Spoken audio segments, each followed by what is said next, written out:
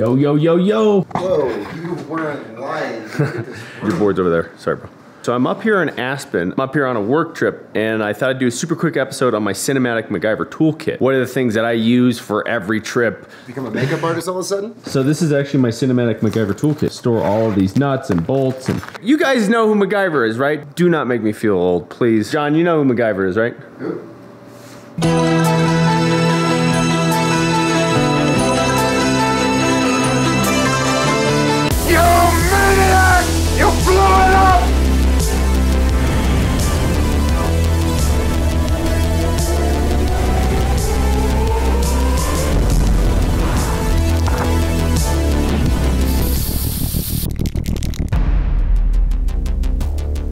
Everything in your camera bag is either this or this, quarter inch or 3 eighths. So for your smaller cameras, DSLR, mirrorless, whatever, quarter 20. For your larger cinema camera, production cameras, you're gonna have both quarter 20 and 3 eighths. This is a really good foundation to know because when you order parts for rigging, building out your camera equipment, whether it's on a gimbal or a shoulder mount, you know exactly what threads you need for everything. The mic, quarter 20.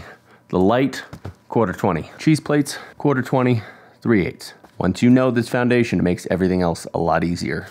So that's where having a good set of Allen keys is really gonna come into play. Sometimes I forget these, so the best tool is always the tool that you have on you. This is a little bike tool. This thing is so effective. You have a flat head, you have Phillips head, you also have quarter 20 and 3 8 little Allen keys. It's a $2 keychain. This is my number one MacGyver tool.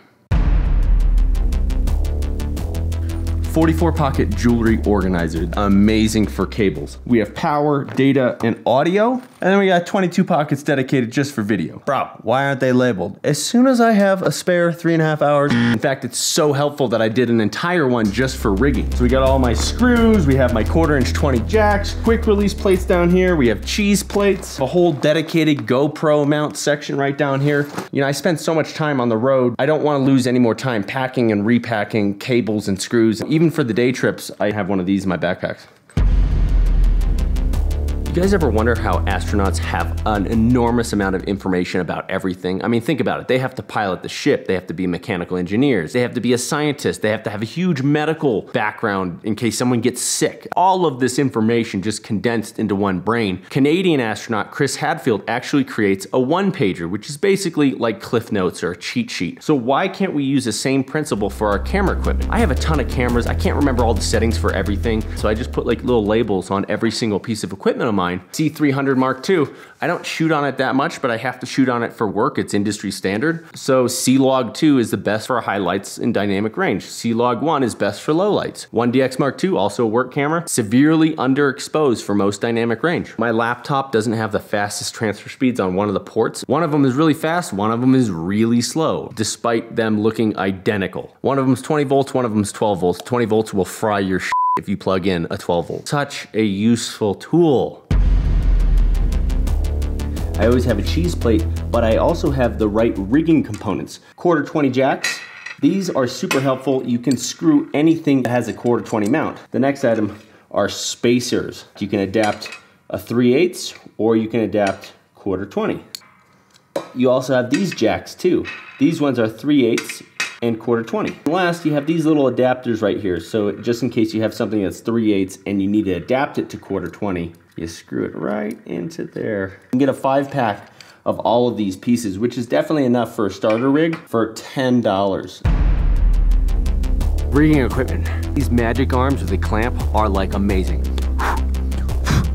Magic arm with a clamp on it is a deadly combination. You can attach this to your rig, you can mount monitors. You can also mount lights too. So like I got my little Yongnuo light. I can essentially mount this anywhere.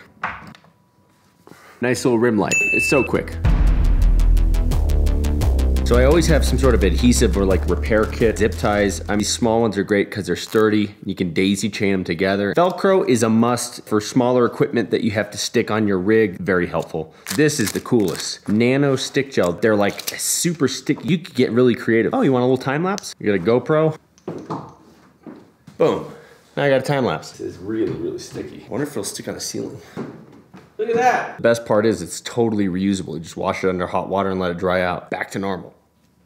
Fishing line is also another big one that I use for a lot of like rigging stuff. This week I used it on my Mavic Pro 2. How many times have you lost these guys? A little bit of fishing line, boom, they never go anywhere.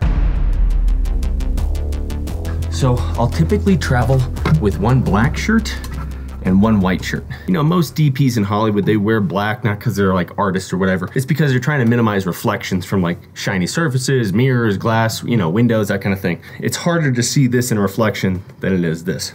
I'll normally just wear a white shirt underneath. If I'm filming low light and I need to bounce extra light on the subject, I will mount a small portable light on my rig I'll turn it all the way up and bounce light off of my shirt and bounce really soft diffused light on the subject. So fast and very effective. The number one tool comes with me on every single film set, whether it's a big production, small production, or just vlogging, is a healthy dose of optimism. Every single production I've ever been on, something goes astray. That's just the nature of this business that we're in. So when things go into in left field, it's up to you to stay level headed, to stay cool, and move immediately into problem solving. This is the reason why MacGyver is such a fucking G. Every time he gets put into some weird scenario and he's got to find his way out, he's not like blaming others and beating himself up. He instantly moves to problem solving. I guarantee you, even if it's your fault that you up, if you take accountability and you move immediately into problem solving, you will get hired back. Anyway, this is Josh saying thank you very much. Stay creative. Now go be cinematic MacGyver. You can't be cinematic MacGyver without a pocket knife. Booyah. I used to start out with the Leatherman Wave, it's $99. Then airport security confiscated that. Then I used the Leatherman Rebar, which is $60, and I lost it. And then finally, I got the $35 Leatherman Rev. This has all the tools that I actually use. Pliers, you got the knife, I don't even use those. And you got a flathead and a Phillips head screwdriver. It's got a little pocket clip. Anyway, this is Josh saying thank you very much, stay creative, and go be a cinematic MacGyver.